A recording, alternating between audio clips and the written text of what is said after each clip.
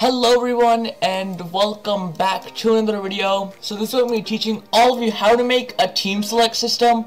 So basically like about 11 months ago I made a previous team select system tutorial but a lot of you said it was like breaking or didn't work. So I'm just here to like make an updated version.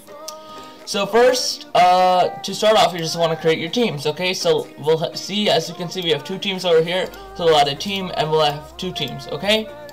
Make sure that the auto assignable is false, unless you want it to be assign uh, assignable so by itself. So auto assignable is off, okay?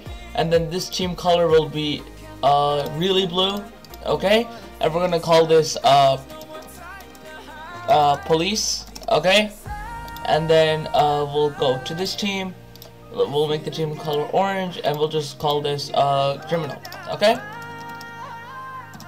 and boom we have our two teams okay so now you want to go into starter GUI and then you want to go to screen GUI and we'll just call this uh, team select GUI okay just like that they're going to insert two text buttons okay but first with the team select UI uh, reset on spawn will be uh, true for for now. Ignore actually reset on spawn will be false. Ignore GUI inset will be true, and enable will be true.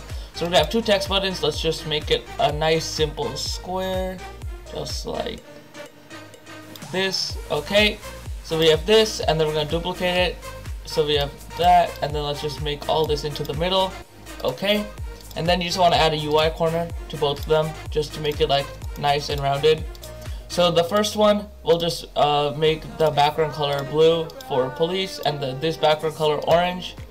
Okay.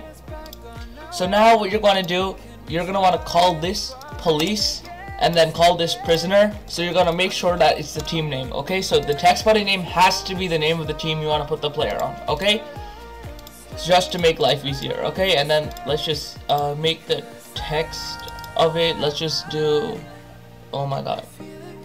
What do you mean add more font? Oh, okay.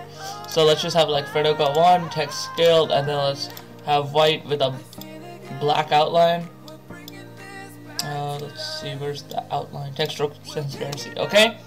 So now that we have this, we'll we'll go to text button and we're gonna call this police, and then we're gonna go here. We're gonna call it criminal.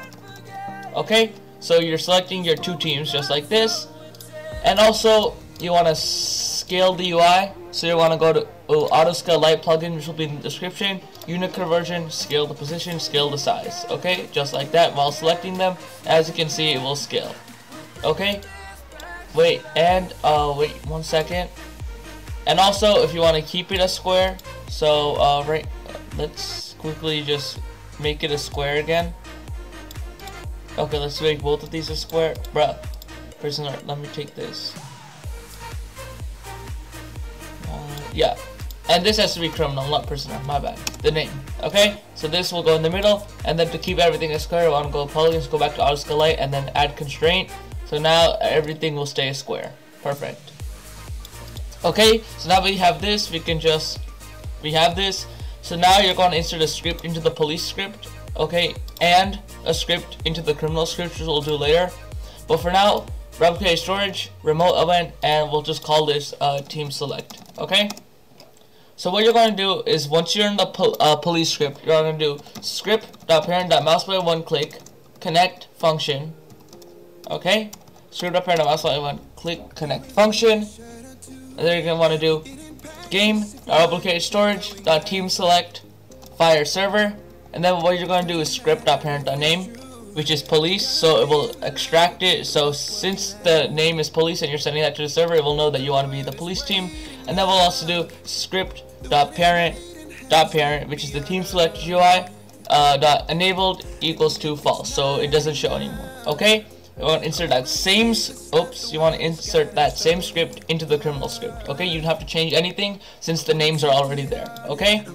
And now, for the final script, you want to go into server script service okay we'll just call this like uh, team switch okay game dot storage dot team select dot on server event connect function uh, player comma team okay and then we're gonna do just player dot team equals to game dot teams find first child team so the team was put if we send police, it will be police, and if it's criminal, it will be criminal. Okay? So just like that, simple as that. Now look, let's just press play and see if it works. Okay. Come on, if it will load. Just wait like two seconds.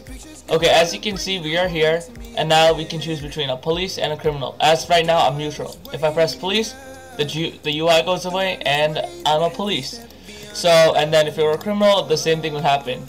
So, uh, that that's pretty much it guys so this model will be in the description and that's it guys i hope you enjoyed be sure to like subscribe and turn on notifications bye